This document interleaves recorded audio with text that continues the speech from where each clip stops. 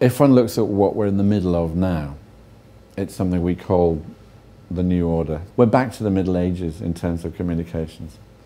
If the blacksmith's lousy in the village, we all know it, but the difference is now the village is the whole world, and we are the medium. We, humanity, are the medium. We are tweeting, we are communicating. But what is extraordinary is where we are on the tipping point on this one.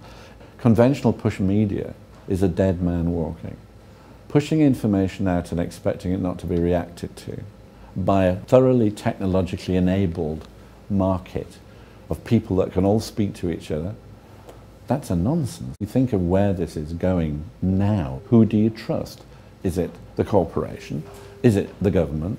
Or is it the opinion of someone whose opinion you trust, i.e., the other person you're tweeting to, or a good friend, or that expert soccer player?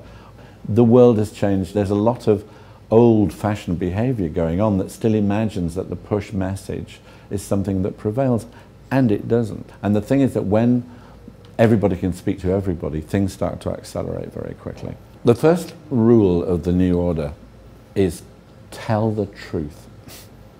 because if you lie, you die. If you go out there and try and spin some crap, then somebody else, after you've done your multi million dollar campaign, sitting in a basement somewhere, is going to shoot back with the same amount of reach that you had in the first place, but it didn't cost them anything to do it. If you try and just churn the crap out, then you'll be called and it will take you down.